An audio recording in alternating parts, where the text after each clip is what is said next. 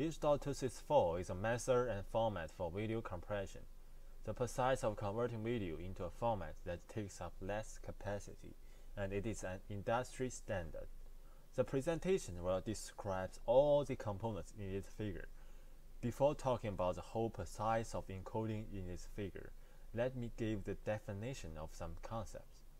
So first, what is iframe, p-frame, and b-frame? iframe does not depend on any frames. It uses intra-prediction to encode the frame. P-frame and B-frame can use the previous encoded frame as reference, so it can use inter-prediction to encode. These two figures are generated by StreamEye. I I also use this bitstream analyzer to analyze. Red column represents I frame, blue column represents B-frame. So we can find that P-frame uses the last three frames to do interprediction iframe does not depend on any frame. I have just mentioned two terms, interprediction and intra-prediction. What do they mean? Interprediction from the prediction from the coded frame. It is used by P frame B frame. Intra-prediction from the uh, prediction from the previously coded part from the current frame. Let me give the brief introduction of the process of encoding. This is the current frame which is waiting to be encoded. First, it needs to decide the frame type. If it is iframe, it only uses intra-prediction. If it is P or B frame, it uses intra-prediction or inter-prediction for each macro block, depending on the cost of inter-prediction or and intra-prediction. Then the original data minus prediction is the residual data. It does DCT and quantization for the residual data. As for the coding part, it does zigzag and also uses the prediction to reduce the size of some header information. For the result of DCT and quantization, it also do the reverse calculation for it. After that, it adds the prediction and the reverse calculations result together. This process is like decoding. Intra-prediction uses the restricted data for the next intra-prediction. Before adding to the re reference list and being used by inter-prediction, it uses loop filter to reduce blocking distortion. I will talk about each component in detail. First, I want to talk about how that they decide the frame type.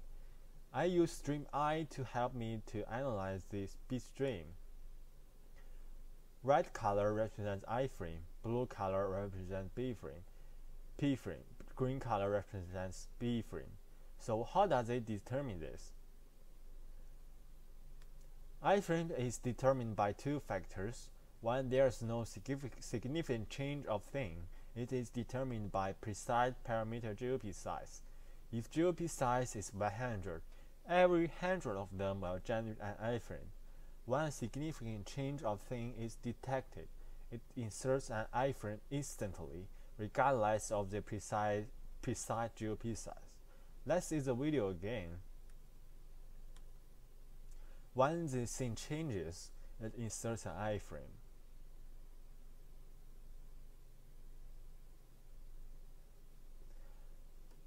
I think now you have a brief understanding how to decide the frame type. GOP is a preset parameter, but how to calculate the significant change of thing? For the current frame, it calculates the cost of inter and intra prediction for the whole frame. If the cost of intra prediction is less, it means that it cannot predict from the previous coded frame well, so it detects the change of thing, so that an iframe is inserted. Let's see the next slide. You may ask, in the process of deciding the frame type, it does inter and intra prediction, but after that, it also does the intra and inter prediction. So what is the difference between them? The prediction in its components is only about deciding the frame type. It is not related to the final bit stream, so it needs to make this process fast enough. The calculation of the prediction of the, this stage is based on lower resolution frames. For example, the original WISE is 1920. The, the WISE of lower resolution frame is 960. So apart from that, I think uh, it goes too far. Um, there's no, there's no selective partition modes. Originally, there are many partition modes. But both of them make the decision fast. Now let's talk about intra-prediction. It forms a prediction from the previously coded part from the current frame. Totally, it has nine prediction modes. For the first modes, for the first three modes, vertical, horizontal, DC, I draw this table to help you understand these modes. For the vertical modes, it uses above values. For the horizontal mode, it uses the life values. The 16 by 16 macro block can be divided into 4 8 by 8 blocks or 16 uh, 4 by 4 blocks. It calculates SATD for each partition mode and chooses a mode with the smallest SATD. As for the cost of each partition block, it calculates SATD for all the prediction modes and chooses the prediction mode with the smallest SCT, SATD for example, in order to calculate SATD for 4x4 partition mode, it needs to use 9 prediction modes for each 4x4 block and choose the prediction mode with the smallest SATD. Totally, it needs to calculate 16 times. The sum of them is the SATD of the 4x4 partition mode. Let's see an example in reality. This is a frame of the video. I also use StreamEye to help me analyze. Let's have a look at these two paths.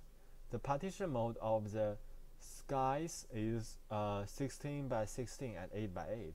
For the detailed part, 16 by 16 and 8 by 8 partition mode cannot work well, so it uses 4 by 4 partition mode instead. You may wonder, why does not all the partition modes use 4 by 4 mode? because it needs more calculation resource. It needs to use 4x4 mode only when it really needs it. In order to avoid use the uh, small partition mode, when it calculates SATD, SATD for 4x4 mode, it adds a small punishment. When it calculates SATD for 4x4 mode, it adds a larger punishment. I have finished talking about the intra prediction for iframe it comes to the prediction for p-frame. It is more complicated because for each macro block, it needs to decide to use inter-prediction or intra-prediction. So it needs to compare the SATD for inter and intra-prediction and choose the one with the smallest SATD. In the previous slides, I have talked about intra-prediction. Next, let me talk about inter-prediction. The important thing for inter-prediction is about motion estimation. This is about selecting a prediction region and generating a prediction block. The offset between the position of the current partition and the prediction region is a motion vector. In order to make good motion estimation, the estimation is based on quarter pixel. The quarter pixel is generated by interpolation be between adjacent samples. It means that there are more pixels and there are more partition modes. It needs to calculate the SATD for each partition mode and choose a mode with the smallest SATD. Uh, let's see the selection of partition mode in the real video frame. At the right hand side of the frame, it is a sky so there is not so much motion. Most of the partition modes are 16 by 16 partition mode. In the left hand side of the frame, there is a person riding bicycle. In order to make the good prediction of the motion, most of the partition modes are 8 by 8 mode. Now we know how to do prediction. We use original frame minus prediction, then we get the residual data. What does residual data look like? Let's visualize it.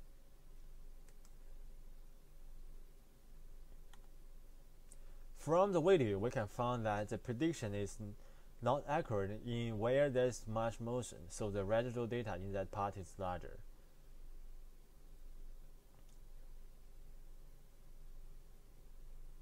So let's say it again.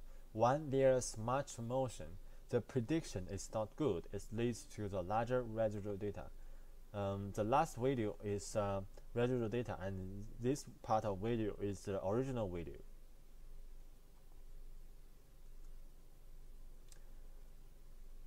Now it's come to the um, transform and quantization part.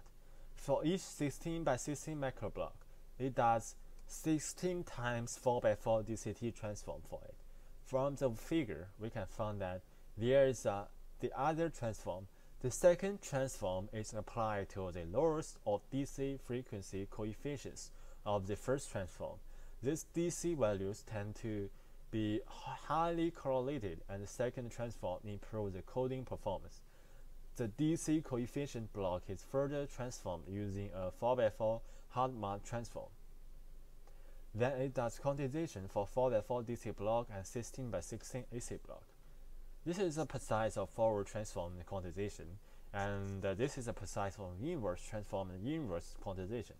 It is very similar to the above uh, precise.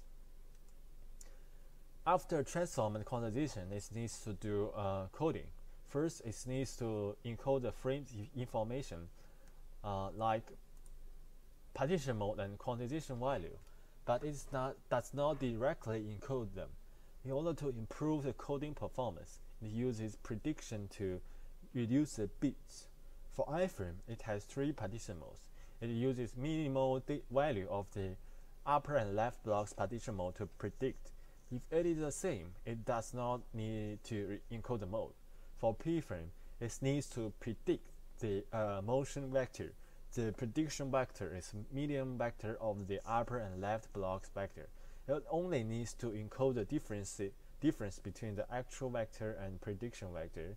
As for encoding the quantization value, it only uh, encodes the difference between actual quantization and last block quantization. After finishing the process of transform and quantization, it scans the coefficient block in, in a zigzag order, then encode it. We have finished this part. Let's talk about the loop filter. Before adding the restricted frame into the reference list, this needs to use loop filter. The loop, the filter smooths block edges, edges, improving the appearance of decoded frame. This generally improves compression performance because the filtered image is more faithful reproduction of the original frame than a blocky and filtered image. From these two figures, we can find that this figure is more faithful than this figure. So that's all for the whole process of H.264 encoding. And thanks for listening.